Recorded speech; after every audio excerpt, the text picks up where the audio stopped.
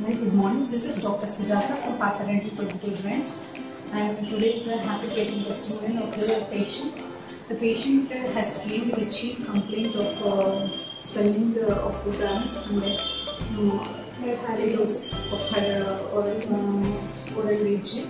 And the patient need to undergo oral prophylaxis for all the state and get restored her uh, decade and the patient has undergone treatment and here is the patient testimony. Hi good morning I'm Anuradha ah, నేను ఇవాళ gums పెళ్ళి ఉంటే వచ్చానండి. సిద్ధార్థ గారు చాలా బాగా treat చేశారు నేను చాలా బాగా సాటిస్ఫై అయ్యాను.